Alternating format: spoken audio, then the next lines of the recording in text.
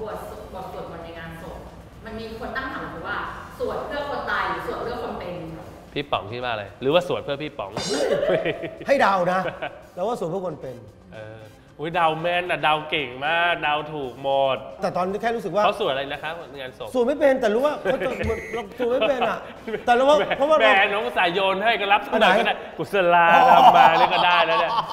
ไม่เรื่องถามเป็นความรู้ไงกลัวตอบไม่ผิดแล้วมัน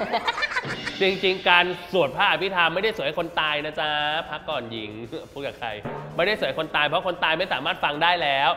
ทำไมงานศพจึงเลือกสวดสวดพระอภิธรรม เพราะว่าบทพระอภิธรรมเจ็ดคัมภีร์เป็นบทที่ตามความเชื่อของพุทธก็คือ พระพุทธเจ้าไปเทศน์ให้พระมารดาบนสวรรค์ชั้นดาวดึงส์ฟังอ่ามารดาไปเกิดตายใช่ไหมครับพระนางสิริมหามัญญา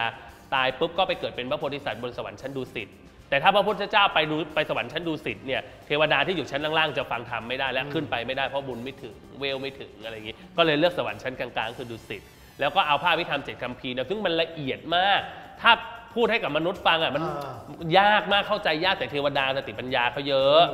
ก็ไปพูดให้ฟังก็เลยถือว่าธรรมะบทเนี้ยสำหรับสวดให้คนตาย แต่จริงๆไม่ใช่นะคะสวดในงานศพคืออ่าสวดให้คนเป็นแต่ถามคนเป็นฟังรู้เรื่องไหม ไม่ก็คือสวดแค่ธรรมเนียมเป็นธรรมเนียมแค่นั้นเองให้มันมีพิธีอะไรหน่อยสำหรับการอยู่เฝ้าศพในแต่อ่าในแต่ละคืนในแต่ละวันให้มันอุ่นใจหน่อยนะเอาพระมาสวดมนต์มันก็ยังอุ่นใจนะ สมัยก่อนมันก็เลยต้องมีอะไรบางอย่างอืม แล้วเวลาล่ะแพรรี่พี่ปองถามหน่อยสิ อยากรู้ว่าสมัยก่อนจำได้ว่าตอนเราเด็กอะเอ่อเวลาเราไปงานศพอะหูสวดทีใช้เวลานานมาก แต่ปัจจุบันเนี้ยอันนี้พูดตรงๆนะ อะ ในบางวัดสวดแป๊บเดียวบางทีจอดรถเสร็จปุ๊บเดินไปดู อ้าว เสร็จแล้วเหรอไม่ไม่ใช่ พระสวดเร็วหรือพี่ป๋องไปช้าพระสวดเร็ว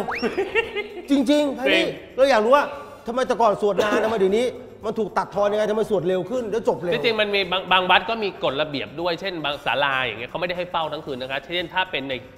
กทมในเมืองอะไรอย่างเงี้ยคือสองทุ่มสองทุ่มครึ่งต้องปิดศาลาแล้ว จ้ะ เพราะว่าเรื่องการเดินทางด้วยเรื่องอะไรด้วย แล้วก็บางเคสบางศพญาติอยู่ไกล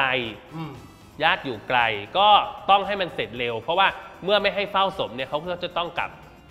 กลับบ้านกลับช่องยิ่งช่วงโควิดนะวัดหนูสวด5้าโมงบางทีห้าโมงเย็น6กโมงครึ่งสวดแล้วและแต่ก่อนสวด4บทเหลือบทเดียว และรู้ไหมอันนี้เคล็ดอะอันนี้ความลับเลยไม่เคยบอกที่ไหนมาก่อนก็คือ ต่อให้สวด4จบ กูก็ตัดจ้า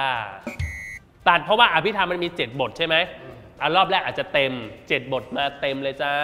รอบที่2เหลือ5 รอบที่3เหลือ4รอบที่ 4 เหลือ3โยมจะงงว่าเอ๊ะทำไมรอบสุดท้ายจบเร็วเออใส่ท่านแหลบส่วนเร็วขึ้นเปล่าจ้ากูตัดแต่ไม่ผิดใช่ไหมอันนี้ถามด้วยความจริงเหรอจริงๆมันผิด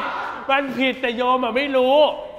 ไม่หนูหนูสวดทุกวันเรารู้ไหมว่า มันนานถ้ามันสวดเต็มมันนานกว่ามันจะจบเออเราก็ตัด แต่รับรองว่าที่ตัดคือครบทุกบทแน่นอนอ๋อครบไปแล้ว ถ้าถ้านับทั้งสี่รอบอะยังไงก็ครบ อ่าๆๆแต่ถ้านับทีละรอบไม่ครบเอออมแค่นั้นแล้ว เป็นบางวัดด้วยบางวัดไม่สวดถึง 7 บทค่ะครับบางวัดเขาสวดแค่บทเดียว เป็นธรรมเนียมอย่างนี้ แล้วก็เน้นมีบรรยายธรรมหน้าศพเช่นอ่าถ้าเป็นวัดชนประทานอย่างเงี้ยวัดชนประทานหลวงพ่อปัญญา ท่านจะไม่เน้นสวดท่านเน้นสอนใช่ใช่ ท่านก็เลยแบบให้เทศก่อนแล้วก็สวดแค่บทเดียวพอ